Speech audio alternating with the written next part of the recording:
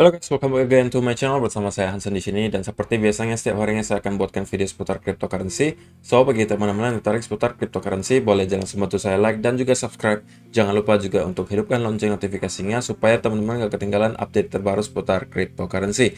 Oke, pada hari ini guys kembali kita akan bahas Bitcoin karena Bitcoin tadi hampir saja menyentuh all time high-nya dan sekarang sih udah deket banget sih sebenarnya udah di hampir 64.000 dan pastinya nanti ada berita terbaru beserta data yang cukup penting untuk kalian tahu so stay tune terus sampai akhir video kita akan mulai videonya sekarang let's go seperti biasa guys, kita akan mulai dari coin market cap terlebih dahulu. Pada hari ini secara global market cap crypto itu di angka 2,53 triliun dolar atau naik sekitar 0,95 persen. Nah, Bitcoin sendiri di angka 63.900-an, naik 2 persen. Sedangkan altcoin rata-rata masih ya termasuk stagnan lah gitu guys ya. Uh, cenderung sideways cenderung naik gitu kalau untuk altcoin dan momentumnya masih tidak sekencang pergerakan Bitcoin gitu ya. Ethereum di 3847, Binance 484, Cardano 2,1 dolar, XRP 1,1, Solana 156, Polkadot 41 dolar, Dogecoin 0,24, Uniswap 25 dolar. Uh, mungkin top performer hari ini untuk top coin di Terra ya uh, naiknya 4% ke 38,50 dolar. So itu adalah outlook sementara dari beberapa top coin yang ada. Sekarang kita masuk dulu ke beberapa berita terbaru yang datang hari ini. Pertama dari billionaire investor Carl E. Chan. Thinks Bitcoin may be the best hedge for inflation. Jadi uh, sekarang kan ada isu di Amerika Serikat itu mereka khawatir soal hyperinflation gitu ya atau inflasi yang terlalu tinggi di Amerika Serikat. Dan menurut si Carl E. Chan ini, Bitcoin sudah bisa menjadi salah satu alat hedging untuk melawan inflasi gitu ya. Jadi kan para investor kalau misalnya yang pemain-pemain besar itu selalu mencari aset kelas yang bisa menjaga nilai aset mereka. Salah satunya kayak misalnya contohnya gold gitu ya. Gold kan dari waktu ke waktu itu harganya cenderung terus naik gitu ya dan bisa ngelawan inflasi gitu.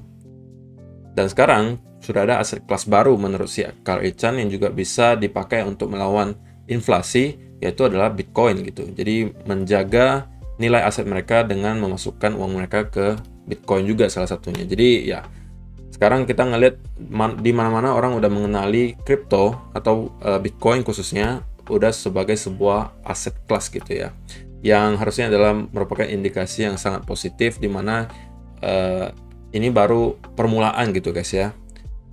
Ke depan kemungkinan makin banyak orang yang melirik Bitcoin untuk dijadikan sebagai alat untuk hedging melawan inflasi dan itu akan membuat semakin banyak investor-investor besar masuk ke Bitcoin dan yang pastinya kita sebagai investor Bitcoin akan terbantu karena harga Bitcoin semakin lama akan semakin mahal gitu ya.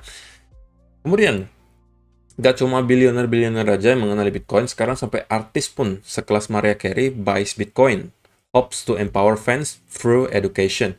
Jadi uh, Mariah Carey teman-teman kenal lah ya penyanyi terkenal juga dan dia sekarang udah ngebeli Bitcoin katanya dan dia juga uh, berharap gitu para fansnya juga teredukasi soal kripto dan kalau bisa ya invest juga di cryptocurrency dan dia pengen para fansnya itu ya kenal lah yang namanya Bitcoin itu apa lalu fungsinya seperti apa lalu ya kalau bisa invest di Bitcoin gitu. Jadi Maria Carey juga mengajak para fansnya untuk invest di Bitcoin. Jadi ini adalah hal yang unik ya. Dan memang masih jarang kita ngeliat ada artis-artis besar yang ngajak uh, para fansnya untuk teredukasi soal Bitcoin gitu. Dan sekarang udah mulai-mulai gitu. Dan kita udah hampir setiap hari sekarang melihat berita-berita soal uh, dari si A, si B, si C, orang-orang besar itu udah mulai bicara soal Bitcoin. Di mana itu membuat uh, kita semakin yakin bahwa adopsi Bitcoin itu memang sekarang udah jauh lebih banyak adopsinya lebih besar gitu dibandingkan dengan tahun-tahun sebelumnya. Oke. Okay? Kemudian ini adalah berita soal Bitcoin Future ETF yang uh, kemarin itu ya udah resmi bisa diperdagangkan. Bitcoin Future ETF debut with highest ever first day natural volume of 1 billion. Jadi yang Bitcoin strategi ETF itu yang namanya ProShare itu kemarin sudah resmi diperdagangkan dan opening volumenya itu ada 1 miliar dolar. Oke, ini di sini ProShare Bitcoin Strategy Exchange Traded Fund saw the highest ever first day natural volume for an ETF with the figure reaching a little over 1 billion by the end of the opening day. Jadi ini adalah volume natural terbesar sepanjang sejarah untuk sebuah ETF gitu ya dengan nominalnya sebesar kurang lebih 1 miliar dolar. Bayangin, ini menunjukkan bahwa memang interest atau minat para investor di Amerika Serikat terhadap Bitcoin itu tinggi banget gitu guys. Ingat, ini baru Bitcoin Future ETF ya. Belum benar-benar Bitcoin ETF. Kalau Bitcoin ETF dan volumenya besar, itu akan berpengaruh langsung dengan ke harga Bitcoin gitu ya. Karena kalau Bitcoin ETF itu langsung dibelikan Bitcoinnya langsung gitu ya. Tapi kalau Bitcoin Future ETF seperti yang ini, ini kita hanya beli kontraknya gitu. Jadi udah dijelasin juga kemarin ya, walaupun tidak secara langsung Eh, mempengaruhi harga Bitcoin. Namun dengan adanya hal ini kita bisa ngelihat bahwa memang minat investor di Amerika Serikat itu sangat tinggi gitu ya. Dengan membuat highest ever natural volume for an ETF. Dan sekali lagi teman-teman, minggu-minggu ini kita juga akan mendapati beberapa keputusan-keputusan lainnya untuk Bitcoin Bitcoin Future ETF yang sudah uh, memberikan proposalnya ke SEC dan akan diberikan keputusan mungkin pada akhir-akhir bulan ini gitu ya. Jadi masih ada beberapa yang kemungkinan akan di-approve dan ya menurut saya ini adalah semuanya berita-berita positif gitu ya. Dan belakangan anehnya kita agak sulit gitu ya untuk mencari berita-berita negatif soal Bitcoin. Selain mungkin ada yang uh, secara technical analysis analisis lah meng, uh, mengatakan bahwa ya mungkin kita ada bearish divergence, uh, kemudian uh, kita udah terlalu tinggi naiknya kita perlu istirahat dan lain-lain. Tapi untuk berita-berita di media-media sekarang itu rata-rata hampir 90% saya lihat adalah berita positif gitu ya. Kemudian, hari ini juga ada data yang cukup menarik lah ya, perlu teman-teman tahu. Pertama dari Will Clemente mengatakan di sini starting to chew into the wall. Jadi uh, ini adalah lanjutan dari video kemarin yang sempat saya katakan bahwa uh, ada sebuah data yang menunjukkan bahwa di sekitar angka 63.500 sampai 64.000 itu banyak sekali uh, sell limit gitu ya atau tumpukan orderan gitu yang diasumsikan sebagai sell limit. Yang kalau misalnya kita nyampe ke angka segitu biasanya akan ada rejection. Dan tumpukan ordernya segini nih guys oke okay. nah pertanyaannya apakah buyer ini atau pembelinya akan jauh lebih sedikit dari orang-orang yang ngejual di sini kalau jawabannya iya, maka kita akan mendapati semacam koreksi. Tetapi kalau jawabannya pembelinya malah jauh lebih banyak daripada orang-orang yang mau sell di sini, ya Simple aja, harga kita maka, malah makin akan naik gitu ya. Dan juga kita sekarang udah dekat banget dengan all time high sebelumnya. Oke. Okay? Kemudian di sini juga disebutkan oleh Glassnode 99.705% of Bitcoin supply is currently in profit. Congratulations all Bitcoin holders on the highest daily market close in the history.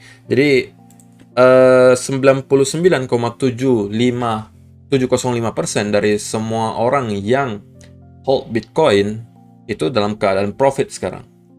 Ya kan? Wajar aja gitu ya karena kita udah beberapa persen lagi menuju all time high. Kecuali kalian belinya di pucuk banget gitu ya. Kayak saya belinya di 40 64 ribu ke atas, 65 ribu itu mungkin kalian masih dalam keadaan loss gitu ya. Tapi selain itu, 99,7% itu rata-rata udah dalam keadaan profit. Kalau kalian belinya di 50 ribu, 55 ribu, mau belinya 40 ribu, 30 ribu, semuanya sekarang udah dalam keadaan profit gitu ya. Dan hanya sisa secuil doang yang masih dalam keadaan loss. Dan mudah-mudahan kita uh, beberapa hari ini masih akan ngelihat Bitcoin terus merangkak naik dan bahkan mungkin bisa menembus all time high seperti itu ya.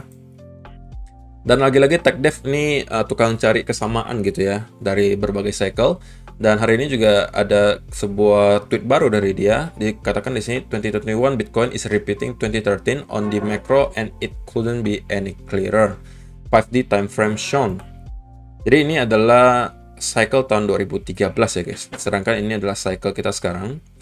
Dan lagi-lagi TechDev menyamakan kedua cycle ini gitu. Dan sekarang yang dijadikan sebagai alat penyamaannya adalah indikator RSI gitu ya pergerakan indikator RSI. Di mana kalau di tahun 2013 kita ngeliat pertengahan cycle kita juga akan men, uh, mendapati sebuah koreksi besar gitu ya. Dan indikator RSI-nya itu kita menurun gitu ya. Membentuk sebuah bottom. Kemudian kita mulai naik. Oke, okay, di sini fase react Juli bounce. Kemudian pada bulan Oktober itu start untuk breakout. Gitu ya. Jadi high-nya di bulan April. Oke, okay, kita mencapai puncak di bulan April, kemudian di sini RSI-nya juga di puncak. Kemudian kita down membuat koreksi. Oke, di sini juga sama tahun 2021 di bulan April kita juga udah start mencapai puncak gitu ya. Sebelum pada akhir oh, pada bulan Mei kita ngeliat koreksi. Koreksi besar di sini juga koreksi besar. Oke, RSI juga turun di sini sama persis. Oke, walaupun pergerakannya yang nggak persis gini juga ya guys ya, cuman ya secara makro itu mirip gitu ya. Di mana kita melihat penurunan di RSI dan juga kita melihat ada koreksi besar, high-nya di bulan April, bulan April, kemudian pada pada bulan Juli kita mulai bounce ke atas atau mulai naik lagi ke atas. Sama di bulan uh, di tahun 2013 juga kita mulai bounce-nya di bulan Juli. Oke. Kemudian RSI-nya juga sama, bentuknya mirip seperti ini ya. Kita membuat ada rally ke atas, kemudian konsolidasi sebentar, rally ke atas, konsolidasi sebentar. Kemudian kita membuat higher high di RSI. Di sini juga udah membuat higher high di RSI. Dan pada Oktober tahun 2013 kita mendapatkan breakout dari all time high sebelumnya. Dan pada 2021 kita sudah mendekati all time high. Oke. Okay? Nah, kalau misalnya kita mengikuti persis dengan yang dikatakan oleh Tech Dev atau misalnya kita mengikuti persis dengan cycle 2013, maka all time high di Bitcoin itu kurang lebih akan nyampe di sekitaran area 165 sampai 200 ribu dolar gitu ya guys ya. Angkanya mungkin hanya bisa dikasih range saja gitu guys, nggak bisa dikasih angka pastinya tapi perkiraan areanya mungkin sekitar 165 sampai 215 ribu dolar. Jadi angka yang uh, cukup tinggi gitu ya. Dan memang kalau misalnya kita lihat sekilas dari pergerakan RSI dan juga pergerakan chartnya itu memang mirip gitu guys. Walaupun ya kalau yang 2013 ini pergerakannya pasti lebih liar daripada yang di sini. Di sini candlenya nggak terlalu gede-gede banget gitu ya. Kalau yang 2013 itu gede-gede panjang-panjang nih candlenya. Karena memang di tahun 2013 ya volatilitasnya juga gila karena harganya masih murah gitu kan, masih gampang dimanipulasi dan lain-lain. Jadinya membuat harganya volatilitasnya tinggi banget di sini. Oke. Okay? So, itu adalah beberapa berita beserta data terbaru yang pengen saya share hari ini untuk kalian semua. Dan sekarang kita masuk langsung ke chartnya Bitcoin. Oke. Okay? Nah, untuk chart hari ini ya ada sebuah lagi, sebuah lagi. Sebuah berita baik lagi lah ya, di mana kita sudah berhasil close daily candle tertinggi sepanjang sejarah. Pertama kali dalam sejarah, candle daily Bitcoin itu close di angka 64.000. Sebelumnya paling tinggi itu close-nya di sekitaran 63.500. Setelah kemarin kita sudah mendapatkan close weekly tertinggi sepanjang sejarah, Kali ini kita mendapatkan close daily candle tertinggi sepanjang sejarah. Jadi belum pernah sama sekali dalam sejarah Bitcoin kita close candle daily di atas 64.000 dan kemarin kita sudah berhasil melakukan itu jadi kita close-nya di sekitar 64.200. Jadi itu adalah juga indikasi yang sangat positif. Uh, namun memang ada beberapa hal yang perlu teman-teman waspadai lah gitu ya. Ini kita juga perlu bahas, jangan hanya bahas soal positifnya aja, tapi ada ya sebuah hal yang mungkin perlu teman-teman cermati gitu, diwaspadai. Sekali lagi, memang ini narasinya sekarang adalah bahwa pergerakan sekarang di sini ini mirip dengan pergerakan yang kemarin terjadi di sini guys, di sini. Oke. Okay. Dan di mana kita juga mendapati indikator MACD juga melakukan hal yang mirip di mana kita mendapati bearish divergence gitu. Oke, di mana harganya terus naik membuat higher high sedangkan di indikator histogramnya itu membuat lower high. Nah, hal yang sama juga terjadi di sini kalau teman-teman lihat di sini. Kita terus terus menerus membuat higher high Sedangkan di indikator histogramnya kita membuat untuk lower high gitu ya. Jadi ya memang secara objektif kita bisa katakan ini adalah bearish divergence gitu ya. Namun seperti yang sudah sering saya sampaikan berkali-kali guys, bahwa kita jangan hanya mengambil keputusan atas dasar sebuah indikator gitu tanpa adanya konfirmasi di chart. Nah, kalau misalnya teman-teman uh, jualan hanya karena ngelihat adanya bearish divergence, anggap saja. Oke. Okay Berarti teman-teman sudah harus jualan ketika di sini ini. Nah, di sini. Kenapa di sini? Karena dari sini pun kita sudah ngelihat adanya bearish divergence. Atau mungkin teman-teman malah menunggu sampai di sini. Di sini juga udah bearish divergence gitu kan, udah berkali-kali bearish divergence, tapi kita tetap naik gitu. Nah, jadi teman-teman, kalau misalnya ngelihat ada indikator seperti ini, ada bearish divergence, ada bullish divergence, perlu teman-teman ingat bahwa ini semua adalah indikasi gitu bahwa adanya terjadi sedikit pelemahan momentum gitu ya. Ini adalah indikasi. Namun kalau misalnya harganya terus-menerus naik, ya teman-teman jangan langsung sell juga gitu tanpa ada konfirmasi. At least teman-teman harus mungkin, wah ini pakai katakanlah trend line gitu ya di sini. Nah, nggak usah di sini. Nah, teman-teman ngeliat mungkin di sini ada bearish divergence gitu kan. Tapi kalau konfirmasinya belum ada di chart, itu jangan teman-teman langsung sell juga. Kecuali kalau misalnya teman-teman punya al alasan lain gitu. Oh, bahwa misalnya kita sudah mampu breakdown dari trendline di sini. Nah, berarti kita udah punya dua alasan gitu. Pertama, kita mendapati ada bearish divergence. Kedua, kita mendapati ada breakdown dari trendline ini. Sehingga teman-teman mempunyai data yang lebih banyak gitu. Bahwa kemungkinan besar, kemungkinan sekarang lebih besar bahwa kita akan mendapati koreksi gitu. Tapi kalau teman-teman sell hanya karena ngelihat ada bearish divergence, maka teman-teman akan ketinggalan berkali-kali gitu ya. Kita karena kita naik terus-menerus gitu. Dan juga tidak menutup kemungkinan kita akan membuat bearish divergence, bearish divergence ini tidak valid gitu guys atau invalid. Dengan cara tiba-tiba misalnya kita ada mendapati pump yang cukup deras gitu ya ke 68 atau 69 bahkan. Nah, kalau itu yang terjadi maka bisa jadi indikator MACD histogramnya itu malah naik lagi. Dan lebih tinggi dari histogram sebelumnya dan itu bisa jadi membuat bearish divergence bearish divergence-nya tidak valid gitu ya. So teman-teman, saran saya selalu jadikan indikator itu hanya untuk pembantu aja pengambil keputusan.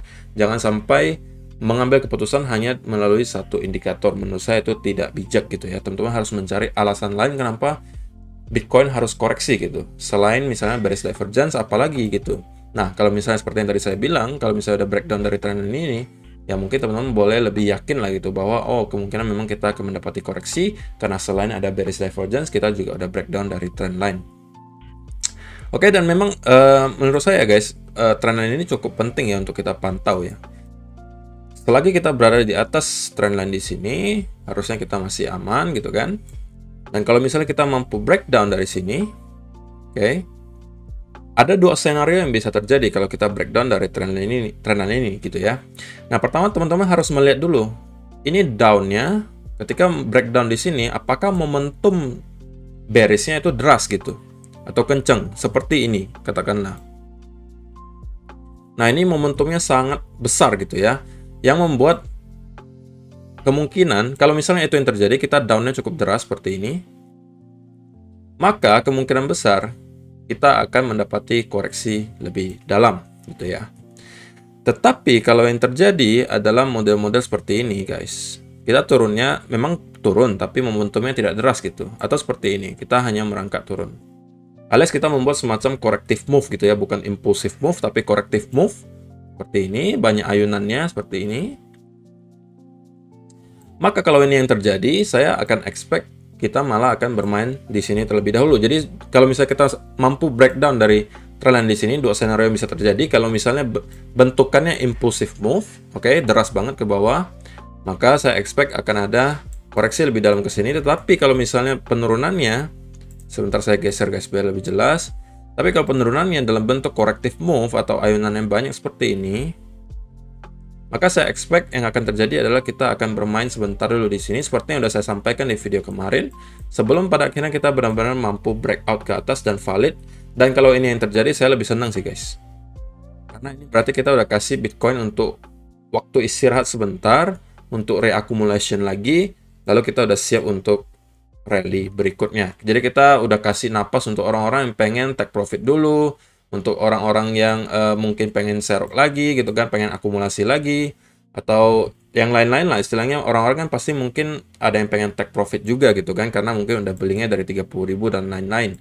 Jadi nggak menutup kemungkinan kalau itu bisa terjadi gitu kan. Kalau misalnya kita mampu breakdown dari ini ya dua kemungkinan itu bisa terjadi tergantung pergerakan chartnya itu seperti apa seperti yang tadi saya jelasin. Nah, tapi kalau scenario bullishnya adalah pastinya kita harus mampu break dari all time high terlebih dahulu. Nah, mungkin kita bisa manfaatkan Fibonacci extension untuk uh, mencari kira-kira area mana lagi yang bisa menjadi area yang penting untuk kita perhatikan. Oke. Okay. Nah, kalau misalnya secara Fibonacci extension, maka 1,618 extensionnya akan nyampe di sekitaran 68 ribu dolar gitu ya 68 sampai 69 di sekitaran sini.